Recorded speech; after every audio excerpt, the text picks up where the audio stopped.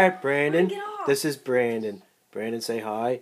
Hi. He's my nine-year-old nephew. And there's Ryan. Say hi. Hi. And you, how old are you, Ryan? Four. Four. And what are you guys playing today? Mary had a little lamb. Okay. Play Mary Had a Little Lamb.